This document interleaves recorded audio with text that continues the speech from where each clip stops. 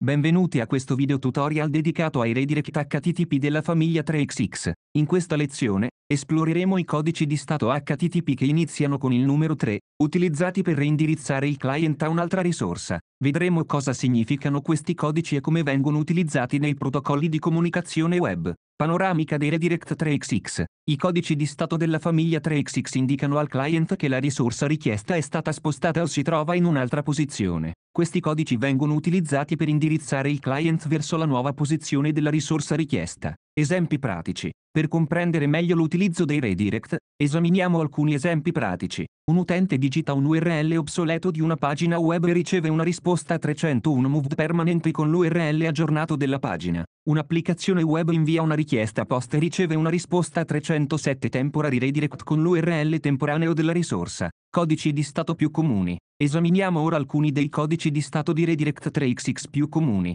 301 moved permanently, questo codice di stato indica che la risorsa richiesta è stata permanentemente spostata in un'altra posizione. Il client dovrebbe aggiornare i suoi segnalibri e memorizzare la nuova posizione. 302 found o 303 seader, questo codice di stato indica che la risorsa richiesta è temporaneamente disponibile in un'altra posizione. Il client dovrebbe continuare a utilizzare l'URL originale per le richieste future. 307 temporary redirect, questo codice di stato è simile al 302, ma specifica esplicitamente che il redirect è temporaneo. Il client dovrebbe utilizzare l'URL originale per le richieste future. Utilizzo pratico dei redirect. I redirect sono utilizzati in molte situazioni pratiche. Ad esempio, quando un sito web viene rinnovato e le URL delle pagine cambiano, è comune utilizzare redirect permanenti per garantire che i visitatori continuino a trovare le risorse correttamente. Durante la gestione di errori o manutenzione del sito, è possibile utilizzare redirect temporanei per indirizzare temporaneamente i visitatori verso una pagina di manutenzione o un'altra risorsa.